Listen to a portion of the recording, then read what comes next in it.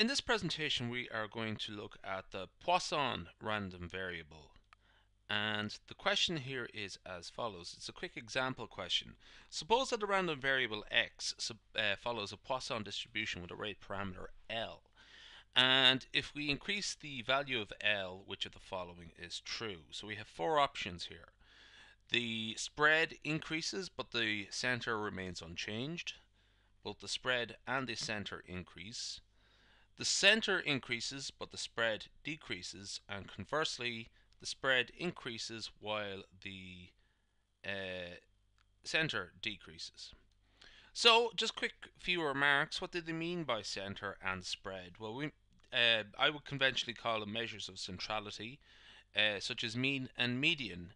Uh, where we might also uh, the spread might uh, it refers to essentially the measures of dispersion, for example, uh, variance range, interquartile range, and so on.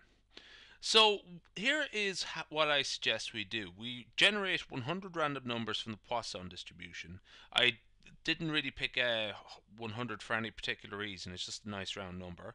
And we're going to specify a, a value for lambda, which is what the rate parameter is known in uh, how R would recognize the rate parameter we call it lambda, it would be called lambda rather than L. And what we're going to do is compute the mean variance for this set of numbers and we're going to repeat this process a few times uh, for uh, increasing the value of lambda each time.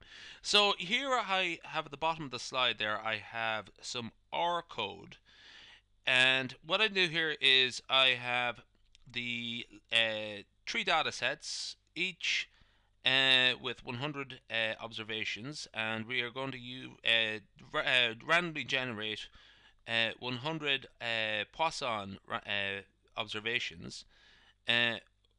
100 with lambda equals 4 100 with lambda equal 8 and 100 with lambda equal 18 and we're going to call these data sets x1 x2 x3 so I'm just going to copy and paste this into R.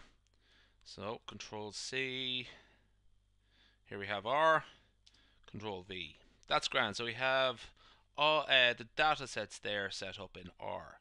Now what do we do? Well, what we're going to do is actually just simply compute compute the mean and variance of each. So we have our data sets x1 and x2, x3 and x4, and uh, x2 and x3, and we have the mean and variance of each. So I'm just going to run this bit of code here as well. Just simply compute the mean of uh, the mean and variance of all three data sets. So this is our answer here. What happens uh, when we increase lambda? Well, the first value, um, uh, 4.13, 7.77, 18.23, this indicates that the uh, mean, the center, increases. But let's look at the each uh, the second value in the, of each output. 3.99, 7.83, 5455 and so on and 8, uh, 18.58 so on.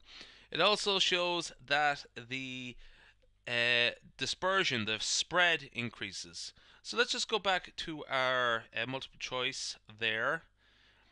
The so I'm going uh, clearly uh, option 2 is the correct answer both the spread and center increase. So option 2 is the correct answer and that ends our presentation. So thank you. Oops. Switch this off. There we go.